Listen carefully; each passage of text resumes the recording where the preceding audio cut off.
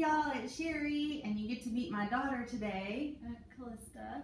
And Callista came up with this breakfast recipe for us. So I'm gonna let her take over from here and tell us what to do to make a quick, easy breakfast. Okay, so we have a couple things you need. We have some peaches and some nectarines. You can also do other fruits. You could do probably like cinnamon apples would be really good, and you customize it to what you like. So then we had to make it really easy some already pre-made crescent dough, the ones that comes in the can. We rolled it out, and we just uh, further cut it up a little bit to make them smaller. Then we have our awesome breakfast maker, which we just took a little bit of cooking spray, wiped it in the inside just to keep it nice and smooth and no sticky happens. So what we do is we're to take our cinnamon sugar and we're to dust this, just kind of lightly go over all of it. Make a nice yummy base.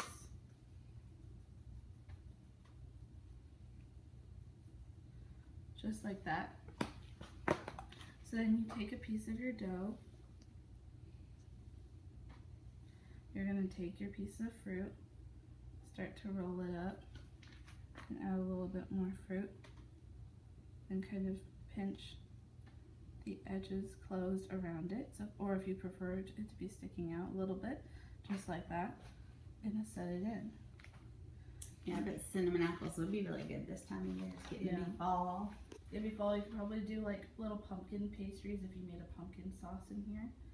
So we're gonna take We should try that. here. That would be really good. Yeah, we always cook our jack-o'-lanterns, you know, right after we cut them. We can take a piece. But you can use Yeah. canned too. Even make a like a cheese filling in there. So let me help you start rolling some of these up. So how many are we gonna put in there?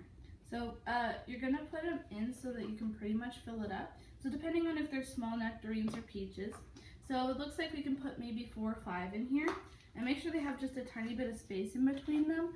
So that way when they puff up, they don't completely stick together. But if they stick together a little bit, it's gonna be fine because you can um, just gently pull them apart a little bit. Might keep them a little moist if they're sticking together. We're just gonna put one more in here. There. So then we're gonna take them. So it looks like five, pretty good.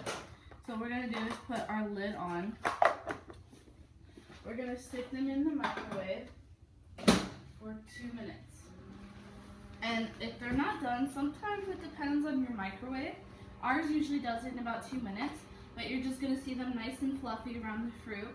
And you're gonna just touch them and see if they're still gooey. If they're still gooey, put them in for 30 seconds to a minute.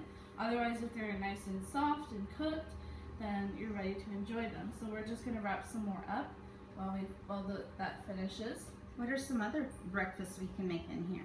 So in here we can do poached eggs Mhm. or scrambled eggs, or we can do uh, omelets. It makes an awesome Oh, makes the best omelets.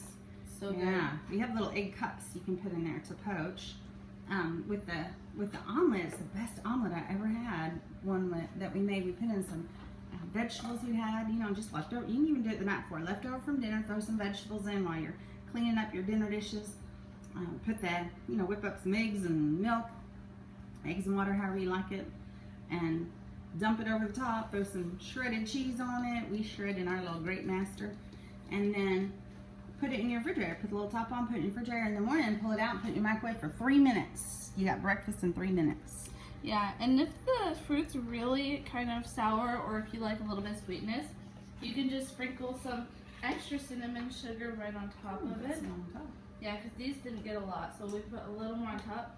Uh, or you could make a powdered sugar glaze, or you could use frosting or jam or whatever you like on top of it, just to make it a little bit sweeter. Glaze with just like some apricot jelly that you heat up. It makes a nice glaze.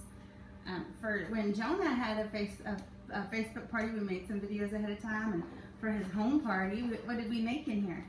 We made little. You can do a flip flop cake, so it looks like a flip flop when you take it out, a little individual cake. But we did cookies because Jonah loves chocolate chip cookies. He's my I cookie do. monster. And so he, we made individual cookies for the kids, and, and I made some frosting, and they decorated them to look like flip flops. Hello, So you see, this is just Hello, person.